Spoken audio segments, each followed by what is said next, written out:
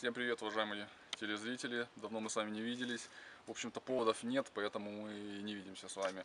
Но сейчас повод появился. Дело в том, что, как вы видите, я стою рядом с прекрасным инжировым деревом, фиговым деревом. И инжира у нас сейчас, сейчас уже середина октября, да? Угу. Середина уже октября, а инжир, он просто не заканчивается. Он как начался в августе, и его так много, что просто его реально некуда девать.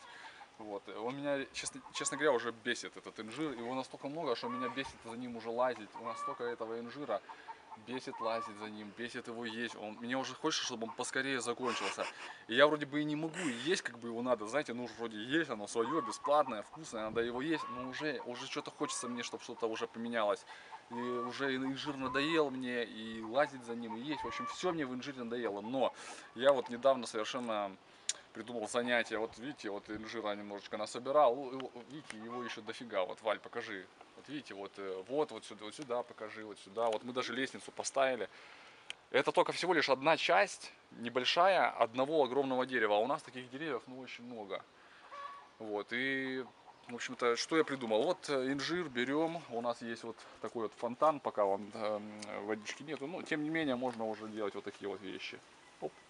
Есть. Хоп. Есть. Хоп. Есть.